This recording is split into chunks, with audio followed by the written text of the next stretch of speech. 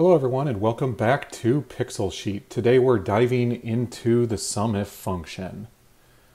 Now let's say you have a set of data, uh, random categories, random numbers, and you want to say a function that sums together based on a criteria. You can use the SUMIF formula to do that.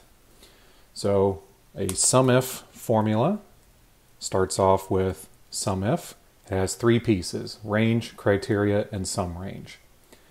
The range is the range of which you're going to find your data and it has to include the values. Now, it must start off with your criteria. So you can have a spreadsheet with multiple columns that you want to span as far as your range for your SUMIF. The first column has to be what you are looking for. So in this case, we're going to be looking for one of these fruits or vegetables. So my range is BC because it includes my uh, numerical range that I want to sum. Uh, I could extend it out further if I chose to, not including column G because I would potentially get a circular reference.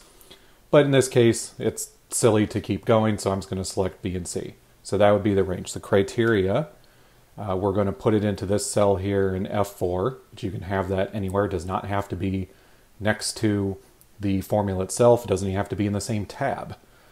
But we will select F4 for our criteria, and then the last piece is the sum range. Now this will be your numerical values. Again, I'm selecting column C. Uh, as I've shown in previous videos, I like to select entire columns, assuming that that is how your data set is arranged.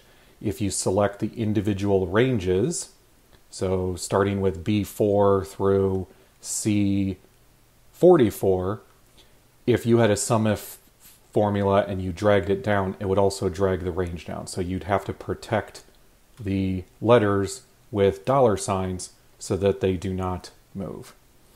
Uh, but don't need to worry about that if I select the entire column. I'm not dragging this formula down anyway. I have a single entry of it, so it does not apply. But after I have those three things, I'm going to close parentheses. Now it found nothing because uh, in my range, I have null value here. I'm going to put in Apple. I know Apple is at least in this list, but when I put that in, I get 106. Now I know it's working properly because I have an apple here, 59, and an apple here, 47. So that's 106. Now, I could have put a filter in, I could have filtered for the word apple, sum, resummed that column, but that doesn't help build spreadsheets with dynamic lookup values such as just as apple where you can plug and play what that criteria is and it'll redo your sum range.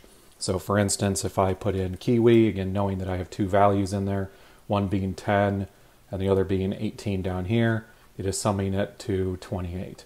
If I put in orange, I only have the single entity of orange of 4. It's still summing it, but does not find it in there.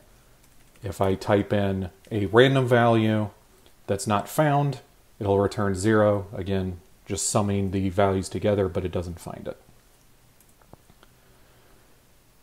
So that concludes this video on SUMIF. Thanks for watching. If you found it helpful, don't forget to like, share, subscribe. Uh, there's plenty of other videos on Excel tips if you just want to browse around the channel. Until next time, happy spreadsheeting.